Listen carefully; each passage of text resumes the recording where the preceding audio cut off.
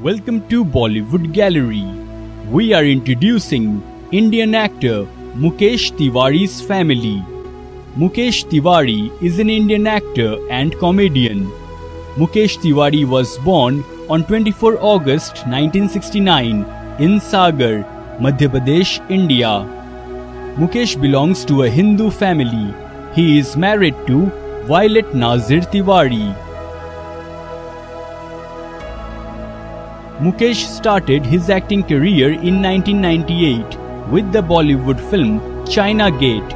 His portrayal of the role of Jagira, a local dacoit in the movie, won him the Most Promising Debut Male Zee Cine Award. Subsequently, he appeared in films like Hum Panch Ek Dal Ke, Refugee, Farz, Mitti, Pyasa, and Hawaii.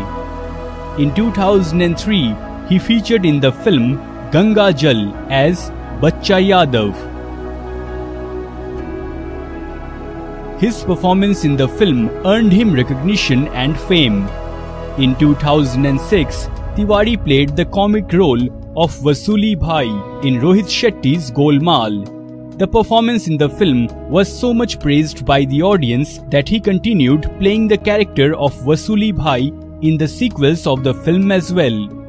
In 2008, he made his television debut with Tarak Mehta Ka Ulta Chashma. In addition to Bollywood, he has also appeared in Punjabi, Tamil and Telugu films.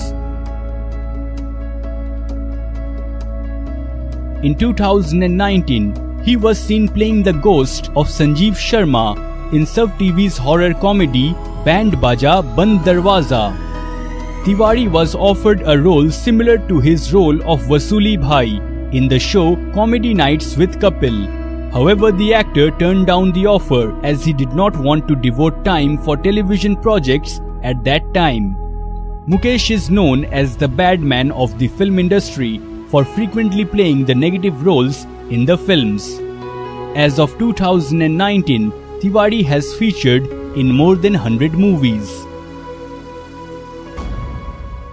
So friends, if you want to watch your favorite celebrities video, comment below and don't forget to subscribe Bollywood Gallery.